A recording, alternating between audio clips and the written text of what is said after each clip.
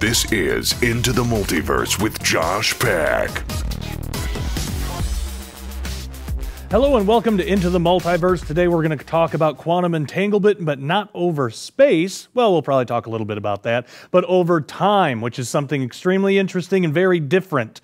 Uh, also, could time actually be a dimension of space and not time at all? Is time just an illusion? Uh, we're going to talk about all that and more on today's episode of Into the Multiverse. Now, if you haven't had a chance to do so, make sure you subscribe. You have to click the bell to let YouTube know that you want to be notified every time uh, we put one of these episodes up. But in case YouTube does not notify you, which is typically the case, just know that every Thursday at 9 a.m. Central Time, you will get a new episode of Into the Multiverse right here on youtube.com slash Into the Multiverse. And uh, also we're on Roku and a bunch of other places, PTL Network, uh, Blog Talk Radio, all sorts of places that you can find into the multiverse. So, this is kind of a strange thing to talk about. It's definitely mind bending, but it's really cool too. Uh, so, you probably remember there have been episodes that we've done on this show about quantum entanglement and what that actually is. Quantum entanglement refers to the idea that two particles can become essentially entangled with one another in some kind of mysterious way that we still don't really fully understand. But they become entangled in such a way that if you alter or measure one particle you can observe the, the, the same thing on the other particle. But the weird thing is, these particles could be light years apart, and there's no time interval between when an observation is made on one and then the change happens on, on the other. There's no time whatsoever, which is very strange. And this is what led Einstein, actually, to call this spooky action at a distance. He was not a fan of the idea, but it has been proven uh, experimentally over and over and over again to be the case. But what we don't know is why. Why this this is actually occurring, how it could possibly work. Uh, because typically, to send information from one place to another, especially light years away, you need uh, some interval of time. It takes time to do that. And the fastest thing that we know about is light, uh, photons, the speed of light. And uh, this seems to operate faster than that, which is supposed to be physically impossible. Now, we have talked about that on this show before, and I've given my thoughts on it. Perhaps it could involve some extra spatial dimensions that we're not aware of and we have no way of measuring. You know, maybe that is what allows this to happen.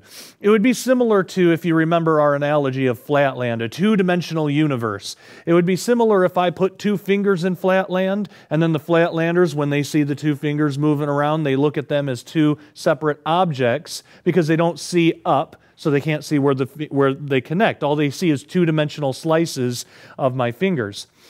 Now, if I were to keep doing that, you know, if I were to keep pushing my fingers through, eventually these two things would converge into one thing, you know, my wrist. Um, but if they, they, could, they could measure one of the circles, one of the two dimensional slices of my fingers, they could measure that, and depending on what type of test they did, let's say that they're uh, measuring pulse or something, and they, they see that uh, they can measure my pulse through this finger. Well, then they would notice the same thing on this one too. And it might lead them to wonder how these two dimensional circles are entangled.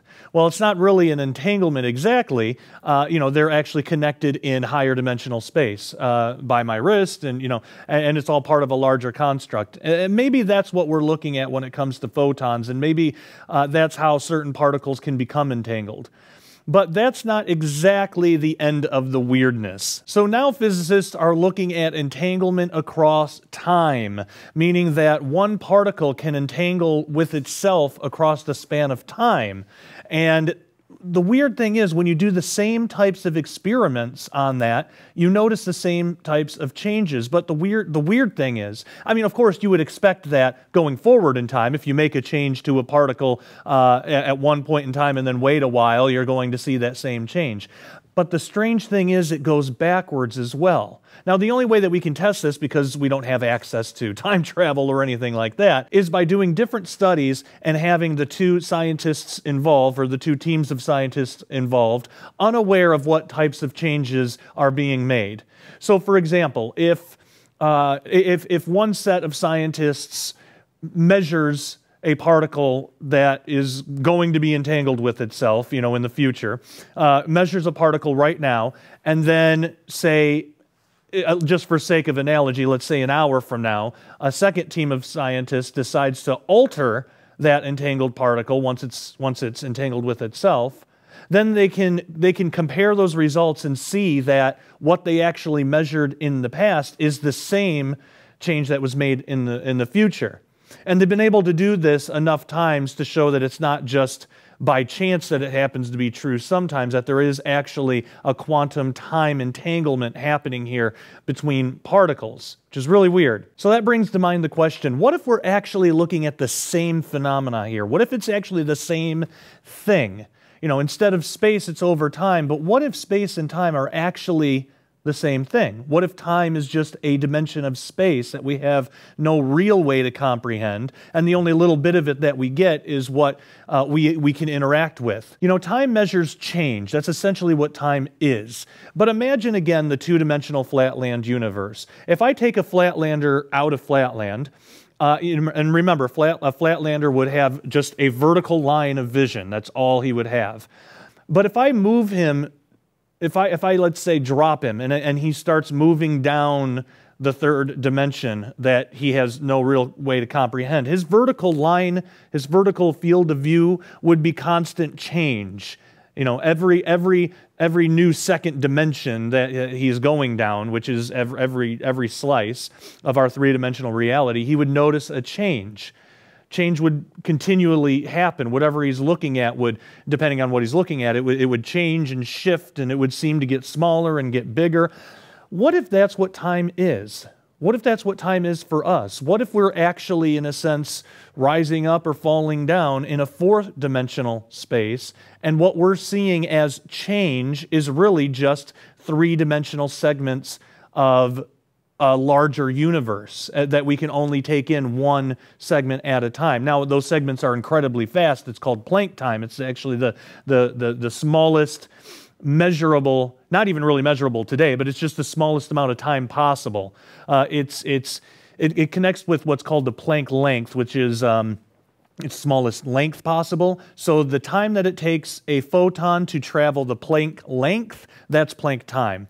It's something like 10 to the minus 43 seconds or something like that. But imagine that. If a flatlander lived in a three dimensional universe, but he was only able to see two dimensions of it at a time, and let's say he was on a rotating planet or something like that, uh, that, that rotation, that, that, that change, could be considered time. But here's, here's the consequence of that.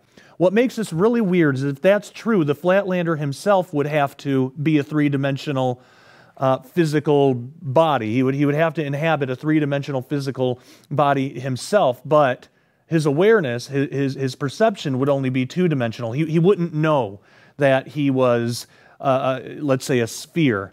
And you, if, if, th- if the third dimension was time for a flatlander, he actually would be a sphere, but his, his consciousness or his perception would be the thing that is moving through the third dimension. You know, you could think of, let's say, uh, if, if it's falling, you could, you could think of the, the bottom of the ball, the bottom section, as that's birth. You know, that, that's when the new Flatlander comes into existence. And then he grows throughout time. You know, really, it's just the ball falling through the third dimension, but it grows throughout time. He's living his life. And then when the Flatlander starts to die, it shrinks again until it, until it disappears.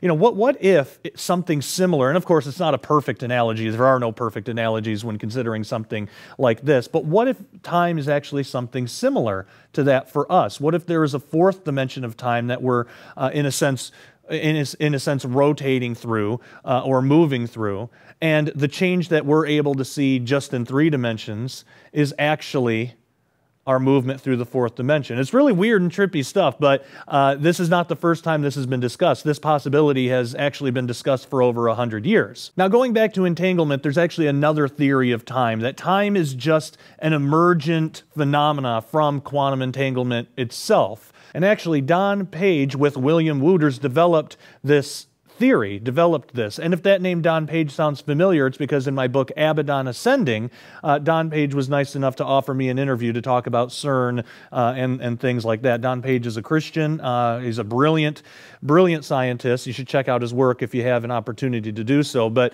he, he was the one that developed this theory that possibly time is just an emergent property or an emergent phenomena uh, of quantum entanglement. Now, you might be asking, what is emergence? What, what is an emergent phenomenon? What does that mean?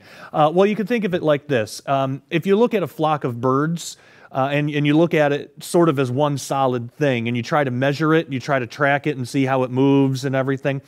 Uh, well, really, the flock isn't a real thing. The flock would be an emergent property of the birds themselves, of the birds moving in tandem and, and doing different things. So you could think of emergent properties in physics as, as sort of like that, or like a school of fish is, is a similar uh, analogy. That's what an emergent phenomena is. And the really cool thing is there's experimental evidence available today that lends support to this theory. Uh, the person who conducted it is named uh, Ekaterina Moreva. I want to make sure I get that name right, but it, le- it lends support uh, to this idea that time might just be an emergent phenomena of quantum entanglement. So it's really weird. It's really cool to think about. Uh, time is definitely something that's been on my mind, uh, especially lately, just how it works, what it might be.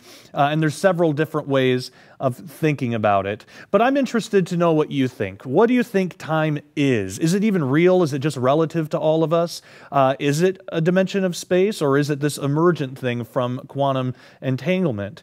Uh, Uh, and if it is space, does that explain how quantum entanglement across space and across time is essentially the same kind of deal, that we see the same sorts of things? Does that mean that time travel might be possible if we start thinking of time as just another dimension of space. Very cool things to think about, and I want all your opinions. I, I love that uh, my audience is really engaged in the comment section, and you all have really interesting things to say, so I would love to see more about that. How would you define time? What do you think time is? What are all your thoughts? Now, if you haven't had a chance to do so yet, make sure you subscribe and click the little bell to tell YouTube that you want to be notified every time there's a new episode of into the multiverse. And if YouTube decides that you shouldn't watch the show and they just decide not to tell you about it, don't worry. Uh, you can fight back against what YouTube wants for you. Just remember that every Thursday at 9 a.m. Central Time, you will get a brand new episode of Into the Multiverse, uh, and we will explore some pretty cool things in the weeks to come. All right, thank you all so much for watching, and until next time, take care and God bless. From the Garden of Eden to our current day, dark Luciferian entities have worked to destroy mankind, while biblical prophecy points to a soon coming war between earthly governments and a clash of colossal proportions. Dr. Thomas Horn says you cannot understand much of the Bible unless you read and grasp the revelations in the Gods of War Super Collection. For your $35 donation during this very limited time offer, you'll receive The Alliance of Evil, the groundbreaking new book by Pentagon analyst Lieutenant Colonel Robert Maginnis, which unveils the prophetic new dual Cold War between the U.S., Russia, and China unfolding across the global spectrum now. The Gods of Ground Zero, that explains the supernatural forces operating behind current global events. And The Last Clash of the Titans, which analyzes the most overlooked prophecies in the Bible and explains how Jesus Christ himself will soon go to war against the gods of antiquity. But with this three volume critical collection, you'll also receive completely free of charge the brand new, never before released full length DVD War of the Gods Volume 1 Search for the Titans. Walk one on one with your personal guides, Derek and Sharon Gilbert, through a tour of the Holy Land, including Shiloh, Bethel, and Mount Hermon. You will see where the final battle between God and the rebel angels will take place. And you'll explore for yourself Sardinia's megalithic tombs of the giants, their connection to the ancient Canaanites, and the final battle. And that's not all. You'll also receive for a very limited time the best of the first annual Blessed Hope Prophecy Conference on DVD. This two disc DVD collection is jam packed with over 11 hours of mind boggling revelations from presenters like Dr. Thomas R. Horn on deep state saboteurs and the secret destiny of America, Sharon Gilbert on the return of the ancients through pharmakia, necromancy, and virtual reality. Lieutenant Colonel Robert Maginnis on the inside war against President Trump by elite secret societies, and unforgettable presentations from celebrated theologian Dr. Michael Lake, Derek P. Gilbert, Josh Peck, and more. But we're still not done. Skywatch TV's Off the Record series is back by popular demand with a brand new, never before aired DVD, The Gods of War Edition, featuring exclusive interviews with Detective Carl Gallups, Senior Pentagon analyst Robert Maginnis, Derek and Sharon Gilbert on the coming hyper battle between the forces of God and the titans of biblical prophecy. This content is only available in this exclusive offer and will not be aired anywhere else. Included for a limited time with the Gods of War Super Collection. This unprecedented collection sold separately holds a retail value of $220. All six items yours now for your donation of only $35 plus shipping and handling. This, without a doubt, is the largest special offer of the summer and is available only while supplies last. So don't delay. The Gods of War Super Collection, available now at SkywatchTVStore.com. Order online or call 1 844 750 4985.